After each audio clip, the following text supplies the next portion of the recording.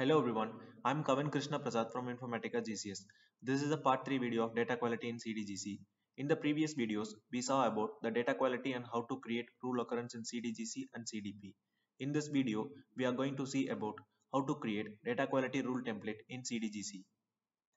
The agenda for the today's session is what is a data quality rule template, data quality automation options available in MCC, demonstration on how to create data quality rule template with DQ options. Data quality rule template is used to achieve DQ automation in CDGC, where it creates the rule occurrence automatically, also called as auto ROs. Rule template uses the primary glossary as business term and it creates the auto rule occurrences for all the columns associated with the business term. Unlike the data quality rule occurrences, the user cannot run the auto ROs created by the rule template through the run now options. This auto ROs can only be executed through the data quality job from MCC. Run now option is only to the manually created rule occurrence in CDGC, also called as data quality rule occurrence. If we see the rule template image, it uses primary glossary as a business term and the total number of rule occurrence created is 3 and that is due to the business term is tagged with the three data elements or columns. This can be verified from the relationship tab of the business term. Now we'll see what are all the DQ options available in MCC to execute the rule template. There are two options using which auto ROs can be created. Depends upon the business use case, the user can select the appropriate options for the DQ automation. The first option is apply on all data elements. By selecting these options, rule template will create the auto ROs for all the data elements which are associated with business term. And the next option is apply on data elements linked with business dataset. This option creates auto ROs for the data elements which are associated with business term and the data elements tagged to a business dataset. Here both the conditions should satisfy. Also data elements can be associated with any of the dataset. Now we'll see how to create data quality rule template with these options to create auto ROs with live demonstration. I have already created two Oracle catalog sources. Both the catalog source has the same data elements. I have created two because to differentiate the DQ automation options implementation. This table called customers has three data elements and it is extracted using the catalog source called DQ automation demo. And this is the next catalog source. It has the same table and same data elements and it is extracted using a catalog source called DQ automation demo 2. I have created a business term called DQ automation 1 and tagged to all the data elements in the first catalog source. And similarly, I have created another business term called DQ automation 2 and tagged to all the data elements which is extracted using the second catalog source. In addition to that, I have created a data set and tagged only two elements to it. If we see the second catalog source, it has a three data elements customer ID, customer name and customer city. Among those, I have tag I have associated only customer ID and customer name to the data set. Also, we can confirm from here that it is coming from the hierarchy of DQ automation demo 2 and, and the glossary called DQ automation 2 is tagged to it. So for both the catalog source, if you use a DQ automation option as apply on all data element, then it should create rule occurrence for all the three data elements because in both the business term is tagged with all the three data elements. But for the second catalog source, if you use option apply on data elements linked with the business data set, then the expected behavior is it should create only two auto rule occurrence and that is because only two data elements are associated to the dataset. Now let's create data quality rule template. To do so, click on new, business rules, data quality rule template, create. Enter the value to the mandatory fields such as name, dimensions and measuring method.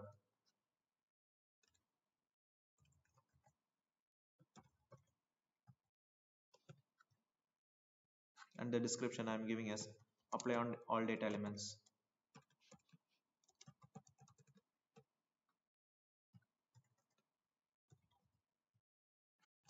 Dimensions and measuring methods are only used for auditing purpose and it doesn't has any functionality behavior. By default, the DQ rules will be evaluated on Informatica Cloud Data Quality. Next, select the business term which is tagged with the data elements. This rule template is to show how apply on all data elements works. So let me select the business term which is tagged to all the data elements which is extracted using the catalog source one.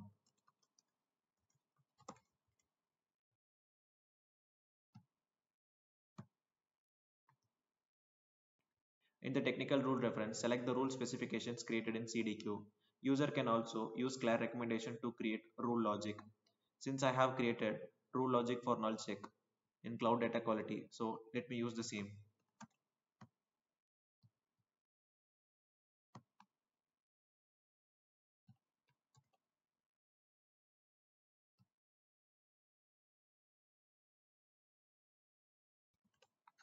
Once the rule is selected, please ensure that this automation checkbox is enabled.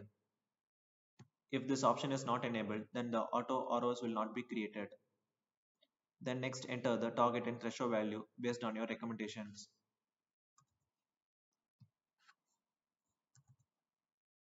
Once the values are entered, click on create.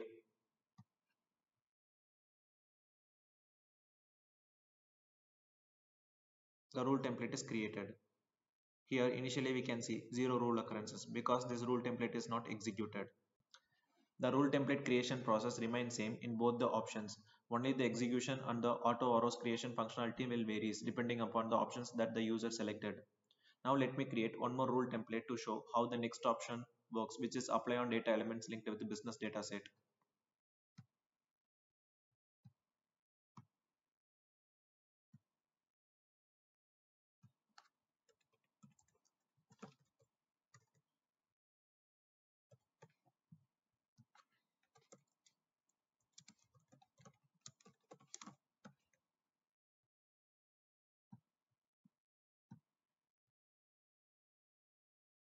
Here I'll be selecting the business term which is tagged to a data element as well as data element associated to the business data set. In our use case, the business term will be DQ automation 2.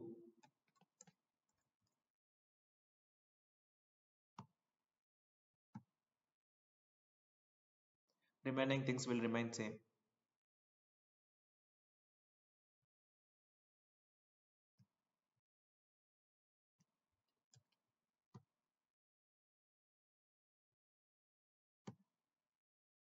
Click on OK. Let me enter target and threshold value. The user can select the frequency if this DQ rule needs to be executed in periodical basis.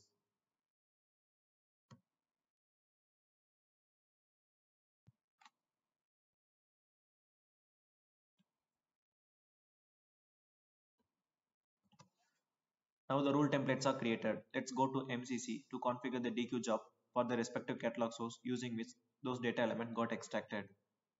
Now I'm in the catalog source called DQ automation demo 1. Now go to data profiling and quality section. Click on data quality. Enable data quality. Select the runtime environment using which the data quality job has to be executed. To execute the data quality rule template, the data quality automation has to be set as yes. Then it will ask you to select the options using which the rule template has to be executed. Our first scenario is to check the functionality on apply on all data elements. So let me select that. You can set the remaining parameters based on your use case. I will leave as it is. And let me save this configurations.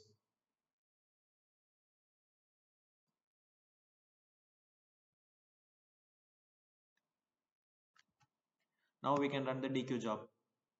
Since the metadata is already extracted, so let me disable it.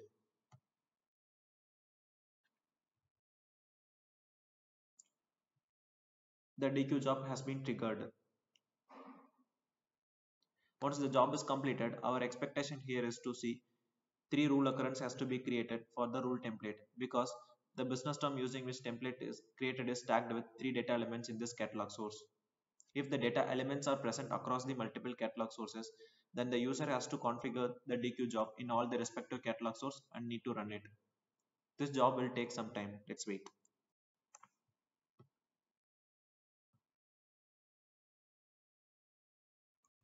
So now the DQ job has been completed successfully. Let me scroll down. Here we can see the list of rule occurrence got created and the list of objects got profiled. This objects refers to the table since all the data elements which is tagged with the business term comes under a same table called customer so we can see here one object got profiled successfully let me go to dgc and uh, let me go to the rule template one let me since initially it was zero rule occurrence let me click let me refresh here Here we can see three rule occurrences got created.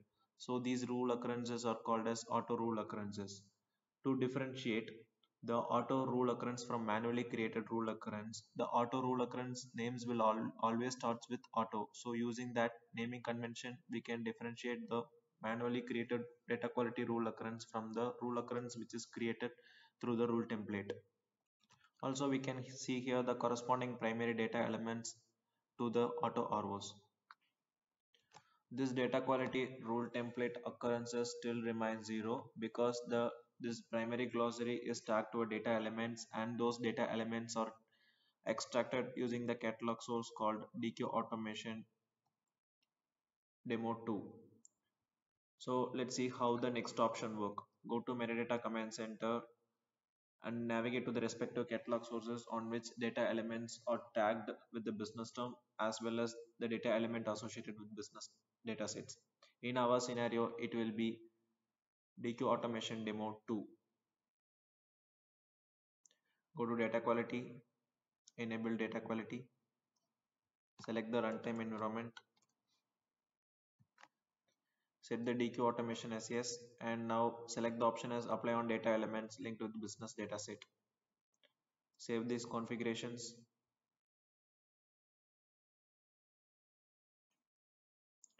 Now execute the DQ job.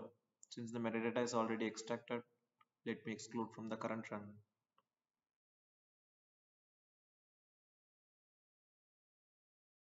A new job has been triggered for the respective catalog source. So this will take some time. So now the DQ job is completed successfully. Let me scroll down. So here we can see uh, two rule occurrence got created successfully and also the object got profiled without any errors. Let me go to DGC and uh, data quality rule template. Initially it was zero. Let me refresh here. As expected here we can see two rule occurrence got created.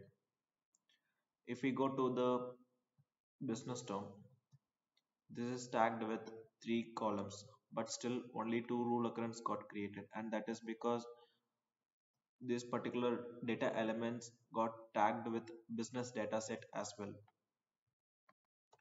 So this is the main difference between these two DQ automation options. And this is how data quality rule template will create auto rule occurrences with these options.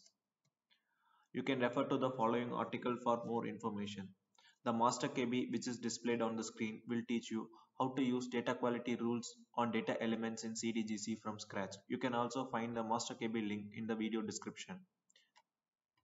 We would love to hear from you. You can give your feedback about this support video in the link displayed on the screen as well as in the comment section. Thank you. Have a nice day.